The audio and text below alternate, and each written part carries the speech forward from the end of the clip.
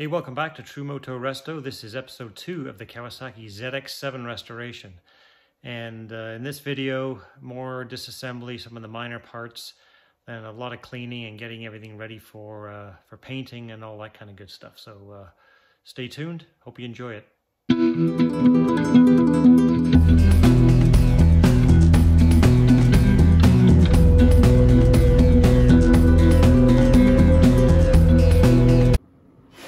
Okay, so I'm going to tackle the uh, getting these brake rotors off.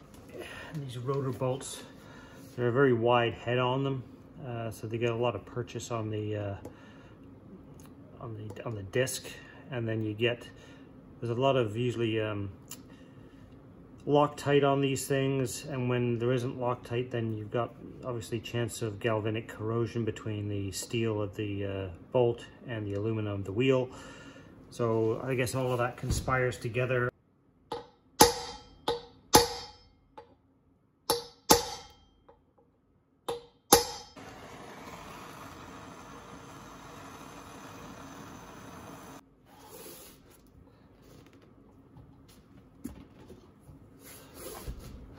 look at that.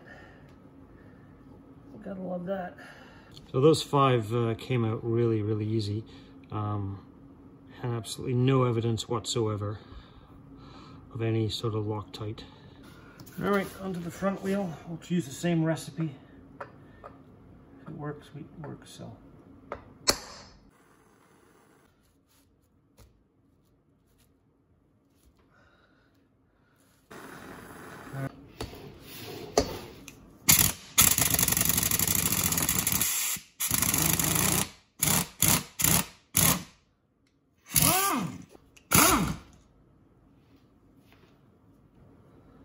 Success.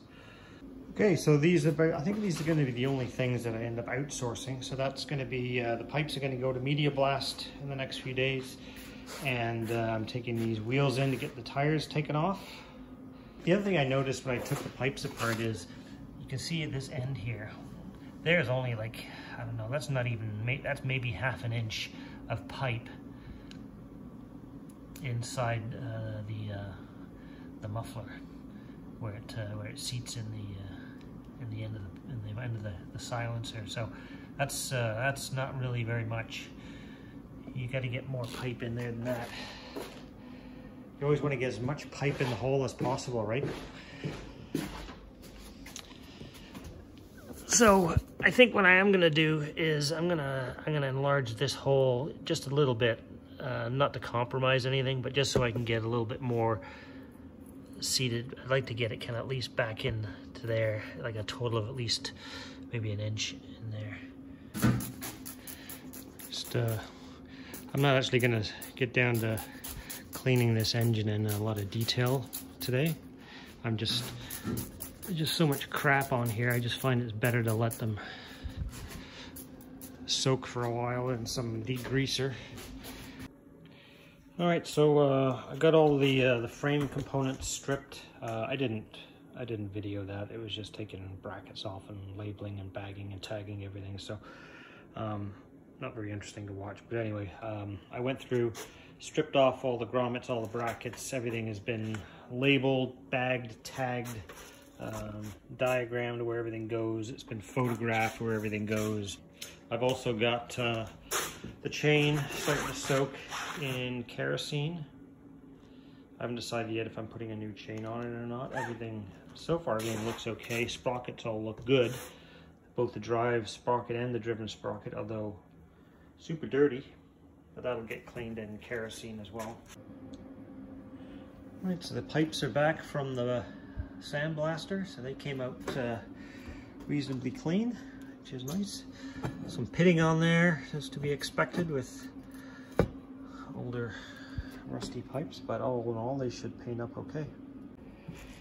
This is the, uh, the dirty job. So basically what I've got here is a wash tub with kerosene in it.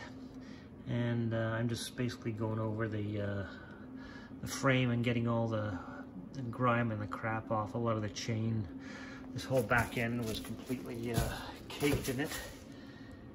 So once all that's off with the uh, with the kerosene and the toothbrush, then I uh, basically basically take the rest off with uh, brake clean. So once that main frame section's done, I'll move over to the swing arm because it's filthy.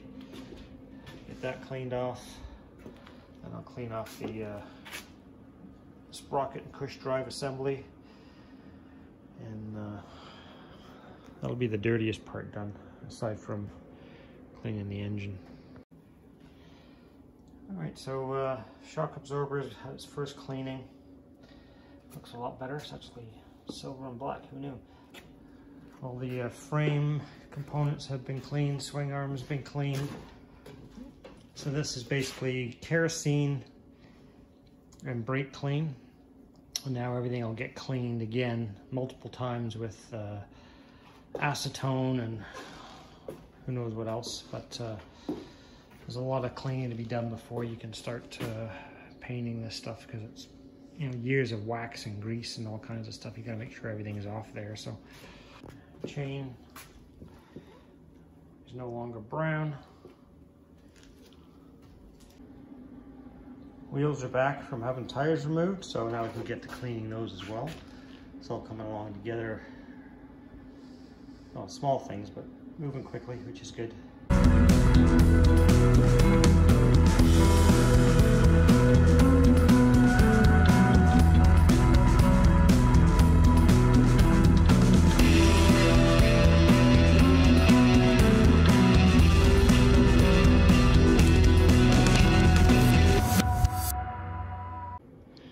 Okay, so this is just the initial cleaning. This is not final cleaning.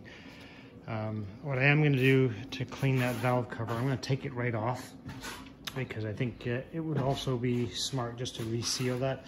It is weeping a little bit. You could I could tell just from the residue of oil and everything that was kind of wicking around the edges. So I think I'll I will take that valve cover off and uh, yeah, maybe I should uh, do a valve clearance check too while I'm in here. So.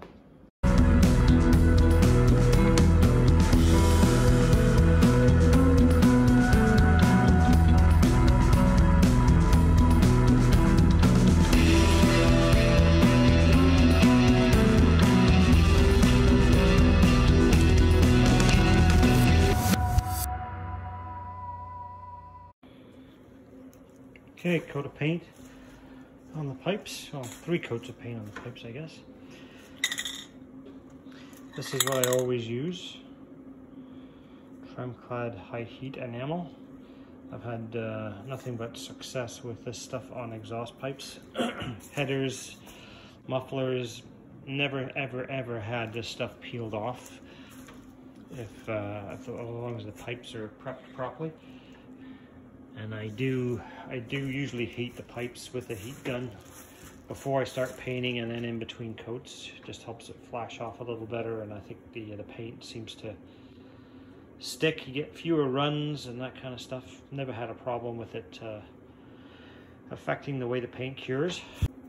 Okay we're on to the uh, the silencer repair and refinishing. So there were a bunch of rivets missing and then there was a bunch of so two rivets that were kind of really loose so I pulled them out. Didn't take any effort at all. And then there were two very large self-tapping screws in there. And then there were a few other rivets that were actually missing. So we've got one two three four five six six rivets that need to be replaced. So my plan is I'm gonna have to put a slightly larger rivet in because this is just so galled up in here. and then uh, I'm gonna clean some of this up ahead of time. Drill this stuff out to the right size for the rivet. And then uh, we'll pop, uh, pop some new rivets in there and then we'll move on to actually refinishing the outer skin of this muffler.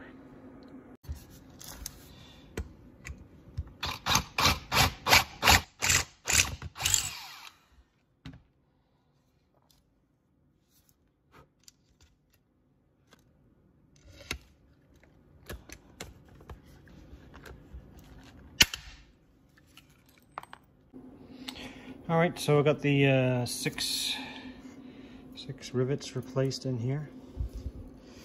It looks a lot better than self-tapping screws. so next I'm going to uh, start wet sanding the outer skin on this. So I'm going to so I'll probably start with uh, a 1000 wet. There's a couple of rougher spots where I'm going to have to get a bit coarser. Uh, see if I can get any of the uh, there's a bit of rash right here. I'll see if I can get some of that out. Um, you can see the rash right along there. So I might try with an 800 or coarser to get some of that out first. Um, and then, uh, yeah, we'll go 1,000 and then 1,500 wet. And then we'll finish off with an Autosol metal polish and see how it comes up.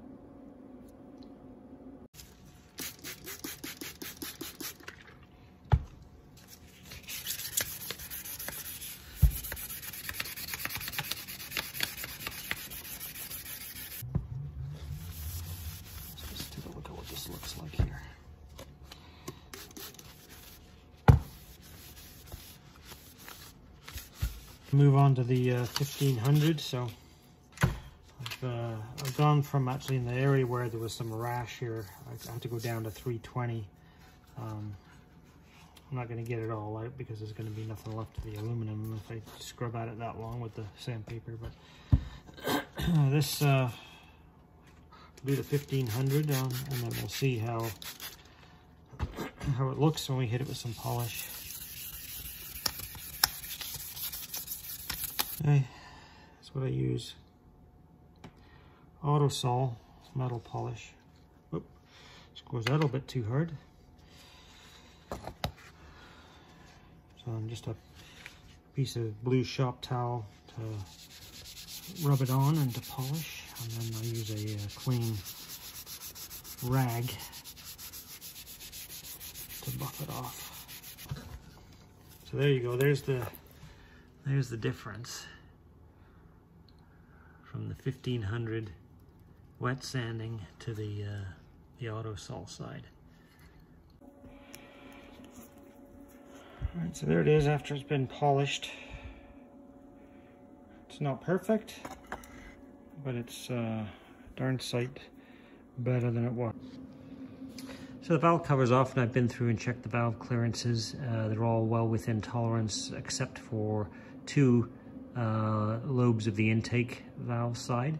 Uh, and then there, there, are two valves that are on the lower limit, um, but still within the acceptable range. So um, I'm going to leave that alone and then uh, we'll clean everything up in there. I've already cleaned the underside of this out. It was kind of gooped with uh, gray gasket uh, Permatex.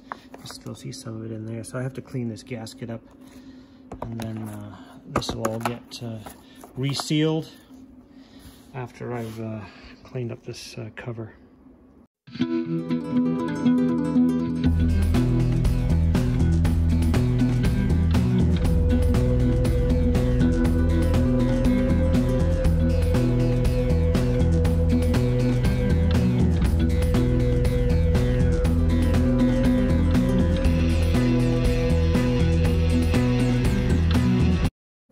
uh, cover. there we go.